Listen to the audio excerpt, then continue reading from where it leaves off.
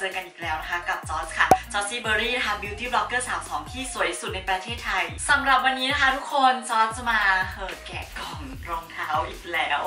เฮ้ย คือจะบอกว่าล่าสุดเนี่ยจอร์จเพิ่งแกะกล่อง Jimmy Choo ไปใช่ไหมภายในเดือนนี้นะคะจอร์จจัด designer brand ไป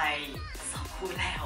มันเป็นเหมือนอะไรที่แบบว่ามันมาจี้จุดต่อมช้อปปิ้งอะพอมันจี้ถูกจุดปุ๊บมันก็จะยาวนะคะแต่วันนี้เนี่ยก็คือตั้งใจว่าคู่นี้จะเป็นคู่สุดท้ายในช่วงต้นปีนะคะเดี๋ยวถ้าเกิดว่าช็อปอีกทีนึงก็อาจจะแบบกลางปีหรือว่าปลายปีเลยละกันค่ะโอเค ถ้าพร้อมแล้วเราไปดู unboxing คู่นี้กันเลยจ้าและนี่นะคะก็คือรองเท้า Christian Louboutin นั่นเองนะคะทาดา คือจริงๆอะจะเรียกว่า Christian Louboutin หรือว่าลูบูตองก็ได้ค่ะแล้วแต่เพราะว่าตอนดูพวกบล็อกเกอร์ต่างประเทศที่เขารีวิวอะบางคนก็จะพูดว่าลูบูแตงบางคนก็จะพูดว่าลูบูตอง ซึ่งจอนก็ไม่แน่ใจ แต่ว่าจอนก็คือพยายามพูดคำที่จอนรู้สึกว่าแบบถนัดมากที่สุดก็คือลูบูแตงนั่นเองนะคะขออนุญาตเรียกว่าลูบูแตงละกันนะคะ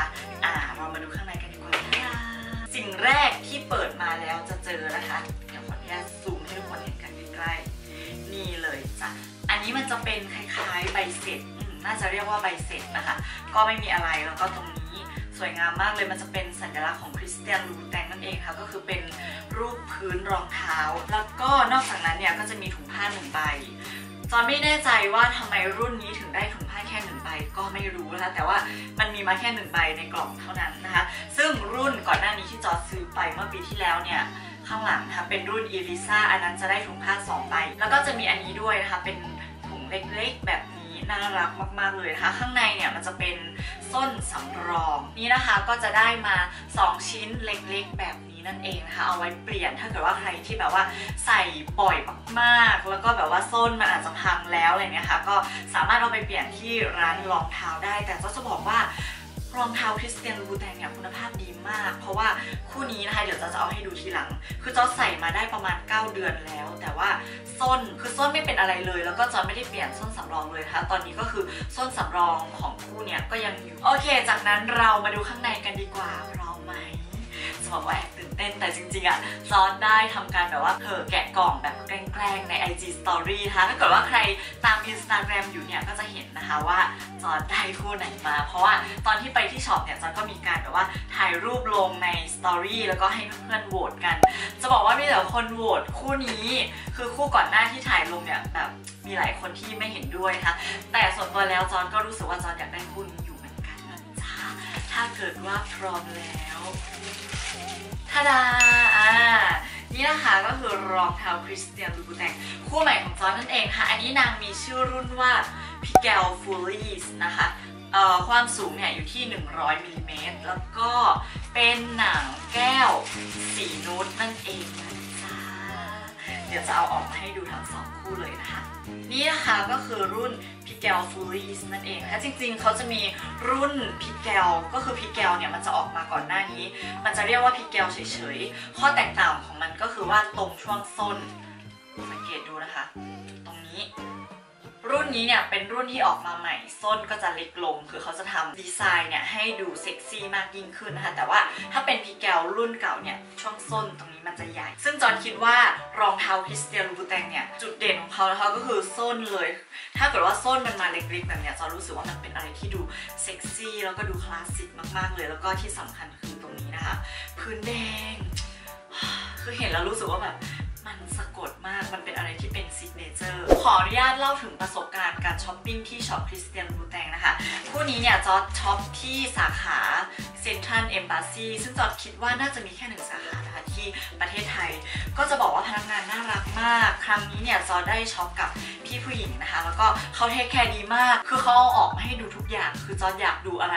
อยากได้รุ่นไหนก็คือบอกสเปคเขาไปเลยแล้วเขาก็จะหยิบออกมาให้ดู ทุกชิ้นคือจอร์จรู้สึกประทับใจมาก การบริการคือต้องบอกว่าดีมากๆเลยนะคะประทับใจมาก และก็นอกเหนือจากนั้นเนี่ยจอร์จได้ตัวนี้ด้วยจะแกะให้ดูโทษนะคะตอนนี้มันติดกันอยู่มันก็จะเป็นซิลิโคนใสๆแบบนี้นะคะ เอาไว้รองตรงนี้ ก็คือใส่ลงไปตรงนี้นะคะ คือพี่ที่ช็อปเนี่ยเขาแถมมาให้น่ารักมาก คือเขาแถมอันนี้มาให้ก็คือสามารถใช้ได้เลยเพราะมันแกะอยู่แล้วนะคะ แล้วก็เขาแถมอันใหม่มาให้ด้วยอีกหนึ่งอันหนึ่งคู่นะคะก็จะมี 2 ชิ้น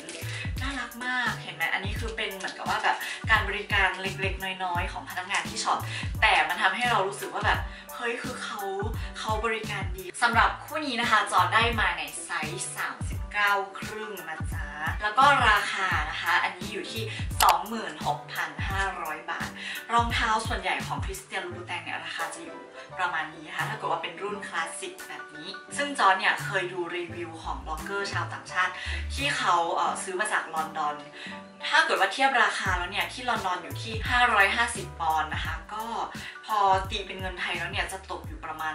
24,000 กว่าบาท ซึ่งมันห่างกันแค่ประมาณ 2,000 บาทอะจอรู้สึกว่ามันเป็นอะไรที่คุ้มมาก เพราะว่าเราไม่ต้องบินไปไกลถึงลอนดอน เพื่อซื้อรองเท้าคริสเตียนลูบูแตงแต่ว่าเราซื้อที่ไทยก็คือห่างกันแค่นิดเดียว แต่ว่าก็คุ้มแล้วก็ได้รับการบริการที่ดีมาก ๆด้วย โอเค เดี๋ยวจอร์จจะให้ดูรายละเอียดนะคะ ว่ารองเท้าคู่นี้มันเป็นยังไงอะ ตรงนี้ข้างในนะคะก็จะเขียนว่า Christian Louboutin หรือเปล่าก็ไม่รู้ไม่แน่ใจ ถูกต้อง Christian Louboutin นะคะแล้วก็ตรงนี้เขียนว่าปารีสก็คือเป็นรองเท้าดีไซน์จากปารีสนั่นเองนะคะ สังเกตดูตรงนี้สวยมากดูดิดูความโค้งดู curve ตรงนี้ของมันนะเนี่ยคือแบบโอ้ my god คือดูดีมากแล้วก็ช่วงส้นตรงนี้ก็จะเรียวเล็กนะคะ ให้ความรู้สึกว่าแบบเซ็กซี่มากๆเลย พื้นสีแดงแน่ สำหรับตรงพื้นรองเท้านะคะ ตรงนี้ก็จะเขียนว่า Christian Louboutin นะคะ made in Italy นั่นเอง แล้วก็บอกไซส์เป็นไซส์ 39 ครึ่ง สวยอะ ดูดี ชอบไหมคือถ้าเกิดว่าใครชอบเนี่ย คอมเมนต์บอกด้วยนะ และอีกอย่างหนึ่งที่จอร์จชอบมากๆเกี่ยวกับรองเท้า Christian Louboutinนั่นก็คือหนังหอมมากๆคือจอร์จบอกไม่ถูกแต่ว่าถ้าเกิดว่าเทียบกับรองเท้าคู่อื่น อย่างเช่นจิมมี่ชูเนี่ย หนังมันจะไม่หอมเท่าอันนี้จอร์จก็ไม่รู้ว่าทำไมแต่ว่าอันนี้เนี่ยหนังมันคือแบบ คือดมแล้วรู้สึกหอมอาจจะเป็นบ้านะคะจริงๆ ไม่แนะนำให้ดมนะ เพราะว่ามันเป็นรองเท้ามันเป็นของต่ำนะคะ ก็นี่นะคะก็คือคริสเตียนลูบูตองคู่ใหม่ของจอร์จนั่นเองนะคะเผลอพูดว่าลูบูตอง โอเค เดี๋ยวเราลองเอามาเทียบกับรองเท้าคู่นี้กันดูนะจ๊ะ ทาดา และนี่นะคะก็คือรองเท้า Christian Louboutin รุ่นนี้ก็จะเป็นอย่างที่บอกว่าเป็น Pigalle Follies นะคะ แล้วก็อันนี้จะเป็น Iriza นั่นเองนะคะ ก็จะเป็นหนังแก้วสีดำข้อแตกต่างของ Iriza กับ Pigalle Follies นะคะ เดี๋ยวจะเอาให้ดู ความแตกต่างของนางก็คือตรงนี้นะคะ สังเกตดูว่ารุ่นนี้เนี่ยมันจะเว้าหายไปนะคะ ส่วนอันนี้มันก็จะเป็นแบบคัตชูเป็นไซส์แบบ เป็นทรงคลาสสิกเลย แล้วก็สังเกตดูส้นนะคะ อันนี้ส้นเนี่ยจะเรียวเล็กเท่ากันเลย แล้วก็ส่วนสูงอยู่ที่ 100มิลลิเมตรเท่ากันจ้ะลองสังเกตดูช่วงส้นของคู่นี้นะคะที่จอร์จใส่มา 9 เดือนเต็มๆแล้ว คือจะบอกว่าส้นน่ะดีมากคือไม่เป็นอะไรเลย ก็เลยรู้สึกว่าแบบมันเป็นรองเท้าที่